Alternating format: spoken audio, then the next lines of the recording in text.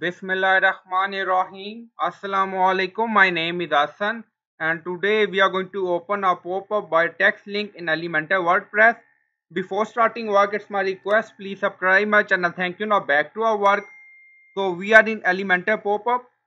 So we are going to open pop-up by link. Now navigate pop-up setting. Now you see setting. So click on it and then you see setting style advanced. So go to advanced and then you see open by selector. So in open selector field, we are going to add anchor trigger link shortcode. Now paste. Now you see and then you see hash link pop up. So you can add text according to your requirement here and you will find this shortcode in video description or in comment section.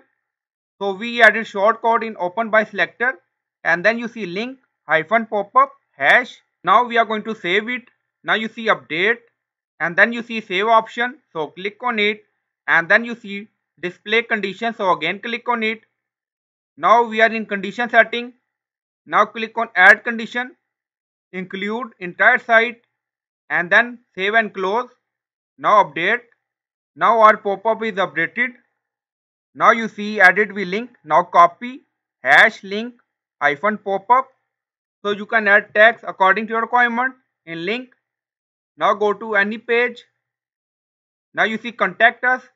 Now copy. So we are going to add link. Now paste. Now you see hash link hyphen pop up.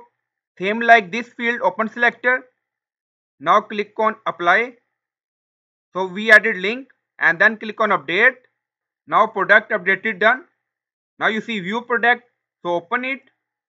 Then scroll down. You see contact us for custom project now click on it. Now you see pop-up open. Again click on contact us. Now you see pop-up open.